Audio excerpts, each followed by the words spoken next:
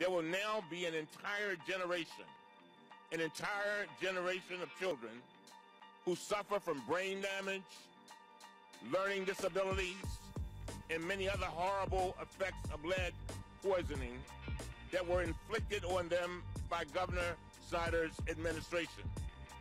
There'll be many children, Mr. Chairman, who will sit in the second and third grade and will not be able to read the words see, spot, run, and won't know why.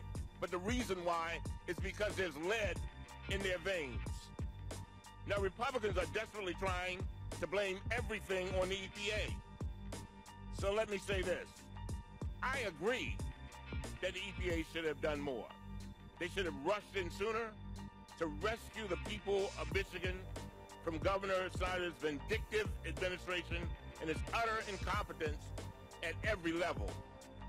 Governor Snyder's administration had primary responsibility for enforcement under the Safe Drinking Water Act, not the EPA. Governor Snyder's administration chose to switch to the Flint River for a source of water, not the EPA.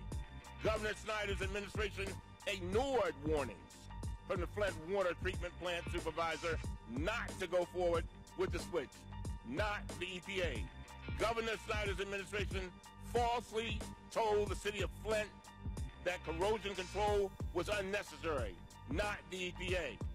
Governor Snyder's administration delayed corrosion control for months and harmed thousands of additional people in the process, not the EPA. Governor Snyder's administration overruled the Flint City Council's vote to return to clean Detroit water, not the EPA. As I close. Even after the whole world knew that Flint residents were exposed to unimaginable levels of lead, you did not declare a state of emergency until January 2016. Isn't that true? I took immediate action. As soon as I learned there was a lead issue, we started issuing filters to people, doing water testing, doing blood testing. Governor and to be open Snyder, with you, I wish more would have been Plausible deniability only works when it's plausible, and I'm not buying that you didn't know about any of this until October 2015. You were not in a medically induced coma for a year. And I've had about enough of your false contrition and your phony apologies. Susan Hedman from the EPA bears not one tenth of the responsibility of the state of Michigan and your administration, and she resigned. And there you are, dripping with guilt, withdrawing your paycheck, hiring lawyers at the expense of the people, and doing your dead level best to spread accountability to others and not being accountable. It's not appropriate. Pretty soon, we will have men who strike their wives saying, I'm sorry, dear, but there were failures at all levels.